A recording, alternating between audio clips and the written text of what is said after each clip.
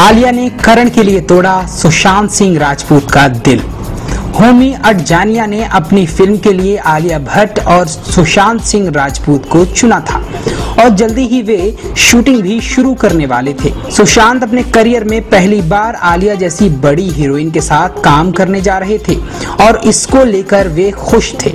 लेकिन आलिया ने ऐसा झटका दिया कि न केवल सुशांत बल्कि होमी की भी नींद उड़ गई। अंतिम क्षणों में उन्होंने इस फ़िल्म से अलग होने का फैसला ले लिया। ऐसा उन्होंने करण जौहर की खातिर किया। करण जौहर अपनी फ़िल्म शुद्धि को लेकर परेशान थे। सलमान खान के शुद्धि से अलग होने के कारण उन्होंने एन वक्त पर वरुण धवन को फ़िल्म में फिट किया। हीरोइन के रूप में उन्हें आलिया की याद आई।